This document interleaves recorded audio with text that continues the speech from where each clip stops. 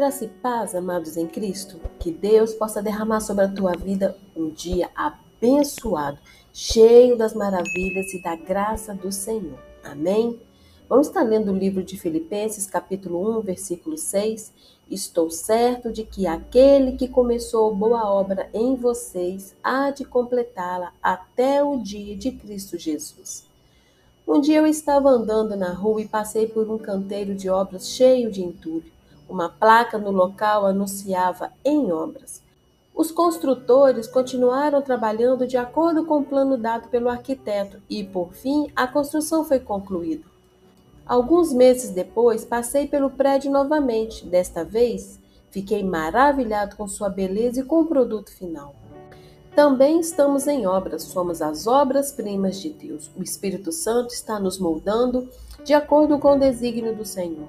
Às vezes podemos parecer inacabados do lado de fora, mas o Espírito Santo está trabalhando em nós dia após dia. Por fim, Deus, por meio do Espírito Santo que dá vida, completará a boa obra que já começou em nós. Continue acreditando e confiando que Deus terminará essa obra em nós. Muitas vezes nós fazemos coisas e tomamos atitudes que nós mesmos analisamos e dizemos: como que eu pude fazer esse tipo de coisa? Como que eu pude agir assim com aquela pessoa, falar assim, ou me comportar, ou pensar de determinado modo?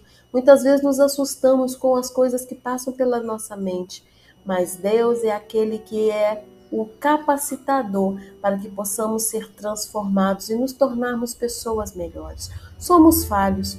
Deus nunca disse que nós seríamos perfeitos, mas nós somos capazes de melhorar a cada dia com a ajuda de Deus, com a orientação do Espírito Santo.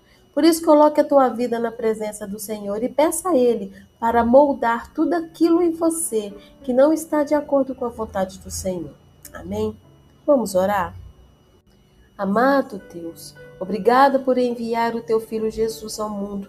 Através do teu Espírito Santo que dá vida, inspira-nos a sermos semelhantes a Cristo em caráter e mente.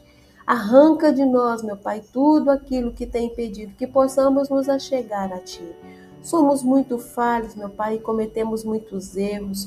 Somos muitas vezes negligentes com a Tua palavra e a Tua vontade mas o nosso amor por ti, meu Pai amado, é muito maior. Por isso estamos aqui diante de ti para pedir que o Senhor venha nos orientar. Estamos com o coração aberto para que o Senhor possa nos tratar e nos moldar e nos colocar diante de ti, meu Pai amado, segundo a tua vontade e o teu querer, para que se cumpra a tua boa obra em cada um de nós. Por isso, Pai amado, que tu possas fortalecer a nossa fé, a nossa esperança e nos dá, Senhor amado, a alegria de estar sempre diante de Ti, querendo melhorar a cada dia. Em nome de Jesus. Amém, meu amado? Que você possa ter este pensamento durante todo o dia. Deus está sempre trabalhando em mim. Muito obrigada, meu amado, por você ter ficado até agora comigo. Espero que esta palavra possa ter vindo realmente de encontro ao teu coração. Não se esqueça de compartilhar este vídeo, de deixar o seu like, se inscrever no canal e ativar as notificações para você não perder nenhum vídeo novo. Deus tem coisas maravilhosas para falar ao teu coração. Graça e paz e que Deus te abençoe. Em nome de Jesus.